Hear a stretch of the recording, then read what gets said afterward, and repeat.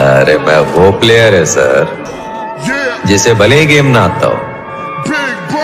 मैदान में उतरा ना तो खलबली मचा देगा।